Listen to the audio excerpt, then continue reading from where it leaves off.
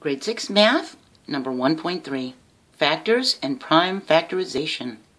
In color. Isn't that exciting? A prime number is a whole number larger than 1 that has only two factors, itself and 1. When you multiply, the only way to get to that prime number is to multiply itself and 1. So 3, 5, 7, 11, and 13 are prime numbers they're not the answer in the times table. We ask ourselves if the number is a product or multiple of another number. Can, is it an answer in the times table? If it's not, then it's prime because prime numbers cannot be a product or a multiple of another number. So if you remember, the factors of the numbers we multiply together to get a product, the product is the answer, and the multiples of 3 are 3, 6, 9, 12, 15. They're the answers in the 3 times table. The multiples of 4 are 4, 8, 12, 16, 20. The answer's in the 4 times table, okay? So that's the easiest way to remember it. Well, prime factorization of a number is a number written of all of its prime factors. All the numbers that are just multiplied by itself in 1 as factors. If we wanted to do prime factorization for 12, we could use the divisibility rule that we learned in our last video, number 1.2. 2 is even, it ends with a 2, so we're going to try 2. So 2 times what is 12? 2 times 6. Now we can break the 6 down.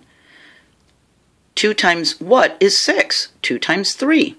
This is called a factor tree. I kind of think of it more as factor roots because it's going down into the ground tree is supposed to go up, isn't it?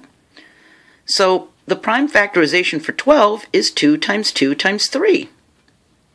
If we wanted to do it for 148, we can use the divisibility rule. It ends with an 8, which is even. So we're going to try 2 again.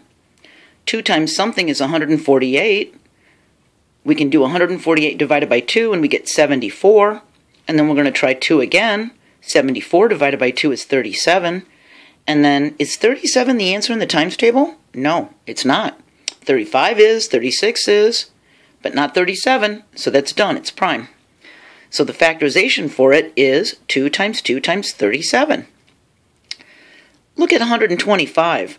The divisibility rule is that it ends in 5, so let's try 5. 5 times what is 125? 5 times 25 is.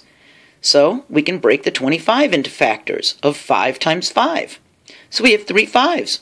So the prime factorization for 125 is 5 to the third power, see, or 5 cubed. We can also use a basic fact like 10. So if you're trying to do the prime factorization for 160, we can say 10 times what is 160? 10 times 16. Then you got to break the 10 down. 10 times what is 10? I mean, 2 times what is 10? 2 times 5. Then we got to break the 16 down. What times what is 16? 2 times 8. Ah, oh, what's 8 the product of? 2 and 4. Ah, oh, we got to break the 4 down. 2 times 2 is 4. Now we're done. Now we count up all the 2's. 1, 2, 3, 4, 5. And we have 2 to the 5th power and a 5. So it's 2 to the 5th power and a 5. You use exponents to make your life easier. Can you imagine if we wrote 2 times 2 times 2 times... Oh, easier to just put a little 5 up there. Now, if you're not sure if you did it right, just multiply everything and check if it's correct. Just go backwards, okay? We can do prime factorization with a ladder diagram. You just continue dividing down until the quotient is 1.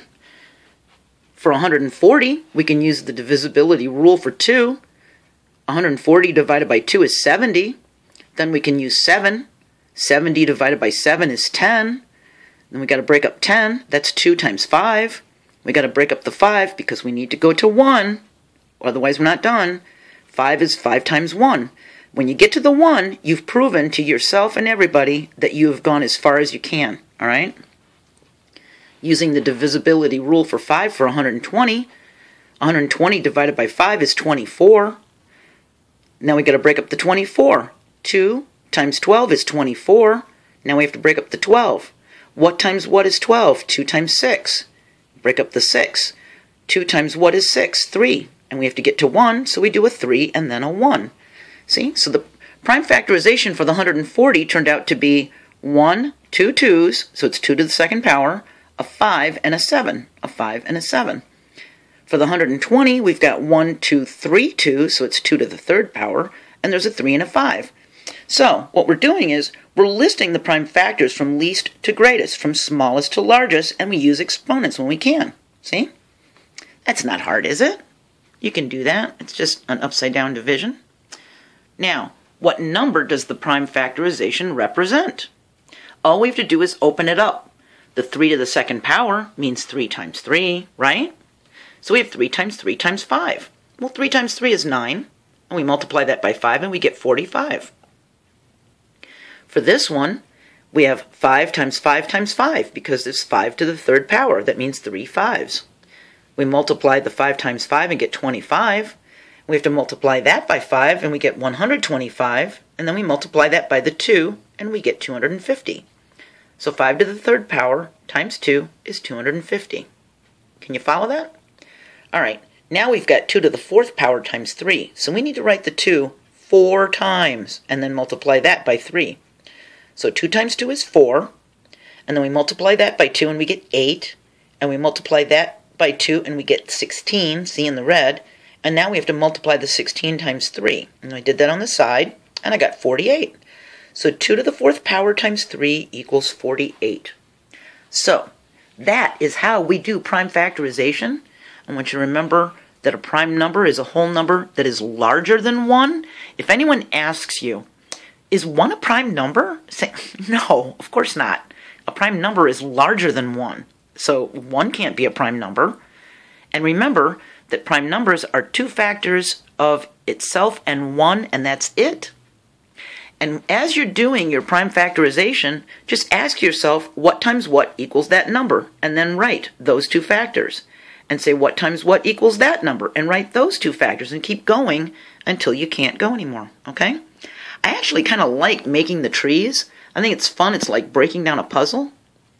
I hope this was helpful, and I'll see you next video. Keep up the good work.